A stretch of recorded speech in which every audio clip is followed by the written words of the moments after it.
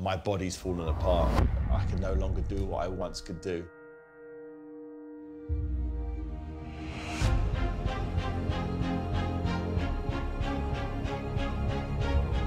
Grosvenor presented me with this opportunity to learn the game of poker.